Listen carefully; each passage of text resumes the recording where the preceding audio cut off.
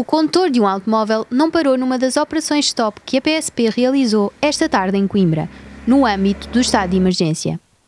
Quase atropelou o agente que o mandou parar, como se pode ver nas imagens exclusivas da Centro TV. Antes desta situação, a Centro TV tinha falado com o responsável da operação da PSP, que disse que tudo estava a correr normalmente. Eh, no âmbito aqui da, da, da operação no, da resolução do Conselho de Ministros, da pandemia de Covid-19 e do decreto do, do estado de emergência,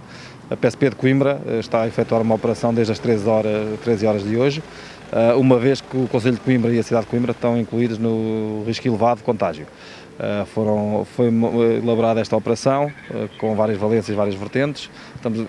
inicialmente às 13 horas começámos a fiscalizar os estabelecimentos, uh, garantir que os estabelecimentos encerravam horas e que só se mantinham abertos as exceções previstas à resolução do Conselho de Ministros. Uh, efetuámos várias operações de fiscalização de trânsito em vários pontos, de entradas e saídas da cidade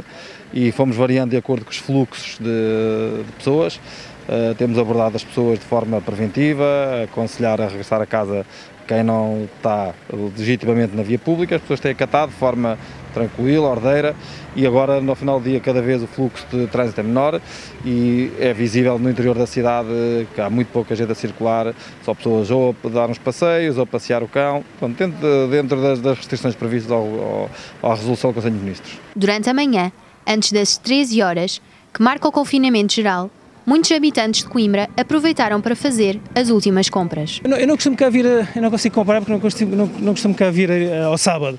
mas falei com, com, sobretudo com as empregadas do continente elas disseram-me que a afluência era muito superior, o que acaba por ser engraçado porque o governo propôs esta alteração precisamente para aumentar o distanciamento social e o que nós verificamos nesta altura é precisamente o contrário, as pessoas todas, eh, enfim, engalfilhadas uma, umas em cima das outras e e pronto, e parece um bocado contraproducente, mas, é? mas o governo há de saber que isto enfim, há de ter outras consequências, ah, eles vão de saber que há de haver outra, enfim, outros, outros comportamentos das pessoas que se pretendem evitar com este tipo de, de,